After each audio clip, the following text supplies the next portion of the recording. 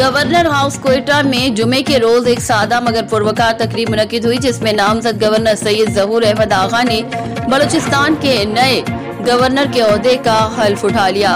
Chief justice Balochistan high court justice Jamal Mandokhail ने उनसे हल्फ लिया। हल्फ बर्दारी की इस तकरीब में वज़ीर अला बलूचिस्तान नवाब जाम कमाल खान, डिप्टी स्पीकर कौमी असम्बली कासम खान सूरी, सूबाई वजरा अरकान असम्बली आला सरकारी हुकाम के अलावा तहरीक इंसाफ के सूबाई अहदेदार और सीनियर वर्कर्स भी हल्फ बर्दारी की तकरीब में मौजूद थे। ब्यूरो चीफ यार मोहम्मद बरोही